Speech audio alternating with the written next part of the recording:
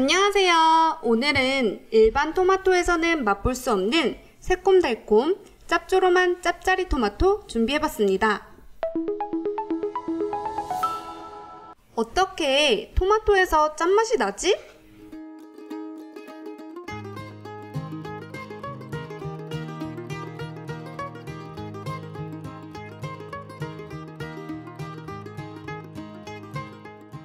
녹색을 많이 띈다고 안 익은 거 아니야? 라고 생각하시는 분들도 많이 계시는데요.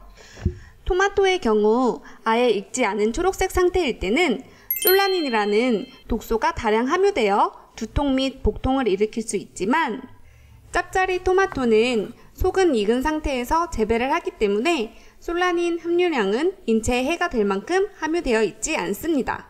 혹시라도 토마토를 드시고 속쓰림이나 복통을 느끼신다면 과다 섭취를 하지 마시고 3일 이상 후숙해서 드시는 걸 권장드립니다.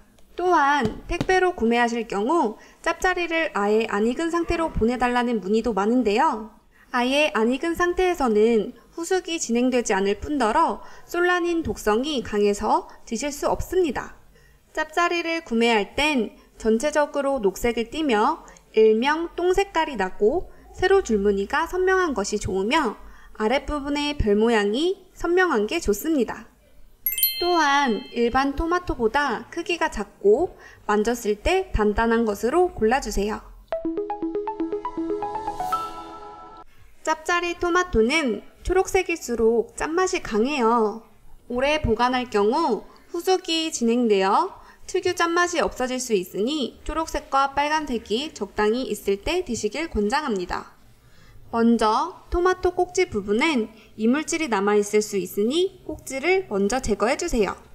볼에 물을 담고 식초를 풀어 토마토를 살살 돌려가며 세척해줍니다. 흐르는 물에 두세 번 헹궈 드시면 됩니다.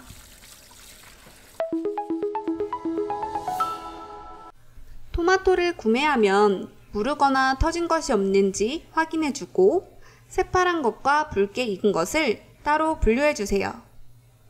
후숙이 많이 진행된 것은 수분이 빠져나가는 걸 막기 위해 키친타올로 감싸 용기에 담고 냉장고에 넣어주세요.